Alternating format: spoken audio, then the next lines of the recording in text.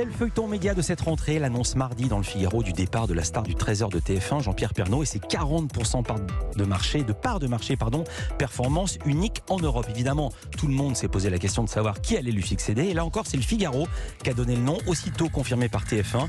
Marie-Sophie Lacaro, TF1 a carrément piqué à France 2 la titulaire du 13h concurrent. C'est du poste pour poste, du jamais vu dans l'histoire de la télévision française. Pour faire quoi? Eh bien, c'est justement ce qu'on va voir avec vous, Thierry Tullier. Bonjour.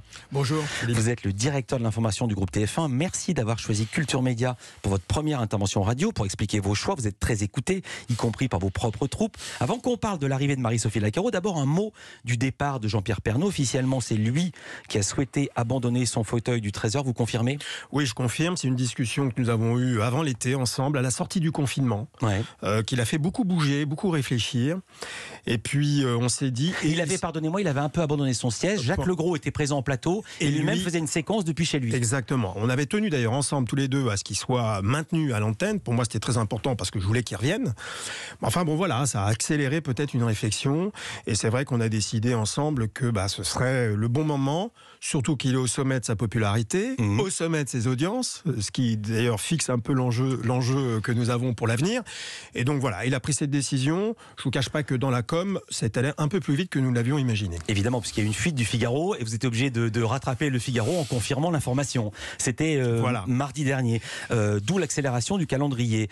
Euh, Jean-Pierre Pernaud a annoncé qu'il restait au 13h jusqu'au 18 décembre. Pourquoi une décision aussi rapide de la personne qui va le remplacer, en l'occurrence Marie-Sophie Lacaro Parce que précisément, comme vous êtes un observateur très fin de l'actualité des médias, vous voyez qu'il y a eu un concours de beauté avec tous les candidats potentiels qui n'ont pas été d'ailleurs euh, plus d'une dizaine contactés. de Voilà. Et donc, je me suis dit que ce soit en interne ou en externe, il valait mieux aller vite parce que sinon, euh, ça aurait créé soit des espoirs qui auraient été déçus, soit des fausses pistes. Et je pense que c'est pas bon ni pour les personnes concernées, ni pour TF1. D'où cette décision rapide. Mais est-ce que c'est l'indiscrétion du Figaro que tu déclenchais ou dans le cas contraire, vous auriez gardé le nom secret jusqu'au 18 décembre ou peu s'en faut? Non, on, on, aurait dévoilé ce nom forcément avant, dans la mesure où on pensait avec Jean-Pierre communiquer plutôt entre début, euh, début octobre et mi-octobre. Ouais. Voilà. Euh, pourquoi ce choix de Marie-Sophie Lacaro D'abord, ça fait combien de temps que vous y pensez? Alors, on, on, a regardé avec euh, Gilles Pélisson et Araprican. Araprican est le patron des contenus et Gilles, euh, évidemment, le, le, patron de TF1. Euh, c'est une décision euh, qu'on ne peut pas euh, conduire tout, tout, seul dans son coin du directeur de l'info. Ça concerne l'antenne, c'est un enjeu énorme, vous l'avez rappelé avec les audiences. Et donc, on a regardé toutes les options possibles en interne et externe. Et effectivement, elle est apparue comme s'imposant, assez naturellement, du fait de plein de facteurs. D'abord parce qu'elle conduit avec succès d'ailleurs, euh, même si elle est loin de TF1, mais avec un certain succès à l'échelle de France 2, son, son, journal de 13 heures, mais auparavant, ouais. les journaux régionaux d'A3, le journal national de A3, donc elle a cette expérience d'un journal d'une chaîne généraliste. Je voudrais vous interrompre 30 secondes mmh. pour pas changer de sujet. Marie-Sophie Lacaro était venue dans Culture Média le 25 juin dernier et je l'avais interrogée au sujet de ses bonnes audiences. Je vais rappeler que quand elle est arrivée au 13h il y a 4 saisons, elle avait grappillé un point puis un autre à Pernod. D'où ma question, vous en êtes où? Est-ce que vous avez réussi à gratter des parts de marché avec le confinement? Réponse de Marie-Sophie Lacaro.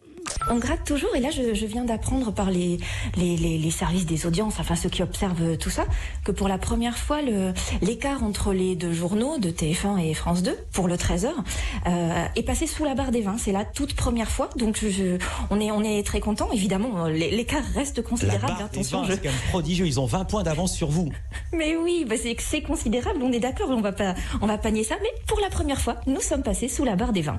Évidemment, ça ne vous a pas échappé. Et c'est vous qui aviez remarqué Marie-Sophie Lacaro quand elle était à en Toulouse. région. Ouais. À Toulouse, et j'avais proposé de, de, venir à Paris pour de, présenter le 19-20 national, puis être joker de, du journal de 13 heures d'Élise Lucet à l'époque.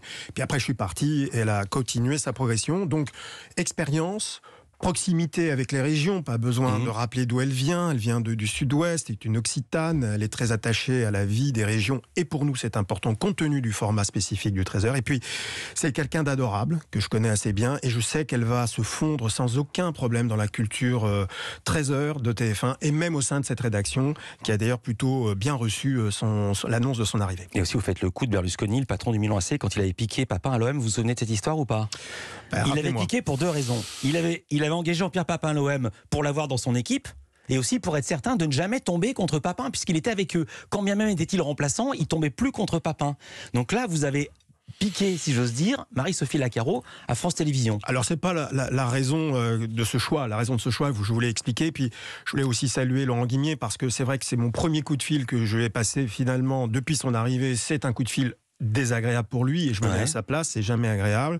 Donc voilà, je suis, je suis désolé évidemment pour euh, mes camarades de, de, France Télé, mais bon, voilà, c'est la, la, vie des entreprises. Un mot du timing, quand vous l'avez appelé, il était au courant ou il n'était pas au courant? C'est vous qui lui avez appris? Ah Non, non, non. La, la, la, logique et je dirais la politesse, c'est quand même que Marie-Sophie Lacaro lui ait annoncé son, sa décision et dans la foulée, je l'ai appelé pour euh, évidemment le saluer et essayer de voir ce que nous pouvions faire euh, ensemble en termes de communication, mais c'était déjà trop tard, l'information était partie, donc voilà. Et qu'est-ce qu'il vous a dit?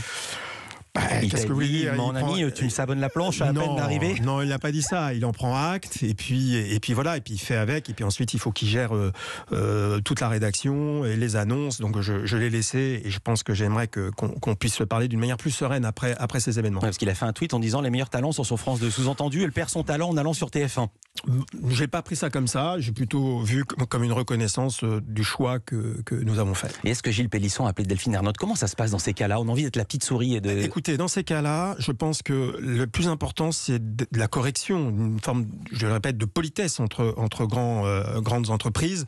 Euh, c'est pas une habitude. Vous l'avez dit vous-même, c'est assez rare. Et donc oui, Gilles a appelé euh, Delphine Ernotte. Ils ont échangé ensemble. Je peux pas vous dévoiler ce qui s'est dit. Enfin, en général, c'est assez bref. Mmh. C'est une information qui est donnée, un échange rapide, et puis ensuite, écoutez, la, la vie la vie de nos entreprises reprend. On fait une pause.